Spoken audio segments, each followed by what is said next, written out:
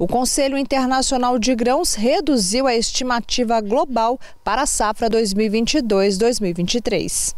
Segundo o relatório do Conselho Internacional de Grãos, a colheita para a safra 2022-2023 deve ficar em pouco mais de 2 bilhões de toneladas, 3 milhões a menos que o previsto em junho e volume 1,7% menor que o do ciclo 2021-2022. Ainda segundo o Conselho, o corte reflete a seca observada na União Europeia, que pode afetar a produção de trigo, cevada e milho.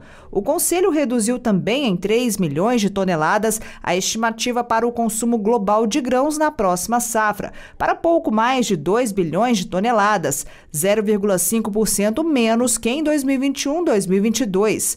O milho deverá atingir produção de pouco mais de 1 bilhão de toneladas em 2022-2023, 2,5% menos que na safra passada, enquanto a colheita de trigo deverá somar 770 milhões de toneladas, com queda de 1,5% na mesma comparação. No caso da soja, o Conselho reduziu a conta da produção em 1% em relação a junho, para 386 milhões de toneladas. Para o arroz, o órgão projeta a produção de 518 milhões de toneladas, 3 milhões a mais que na safra passada.